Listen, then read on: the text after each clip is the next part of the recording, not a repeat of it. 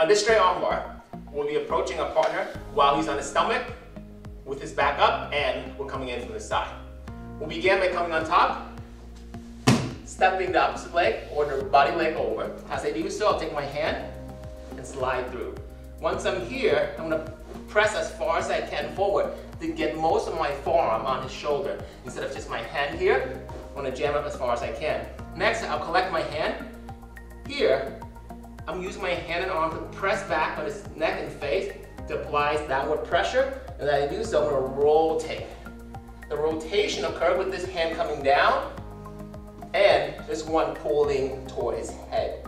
I'm not trying to put him towards me, but rather toward his head. So when he's here, I'll collect my gi. I'll then come across, sit back, legs in, and apply the armbar.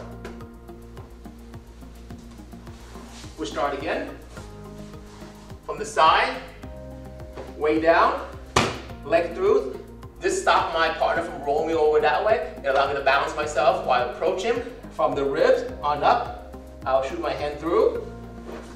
Once I'm here, collect, head to head, apply downward pressure, collect the gi, step through, nice and tight, roll back. You may have the arm bar before you come all the way through. It might occur up here or it might occur all the way through.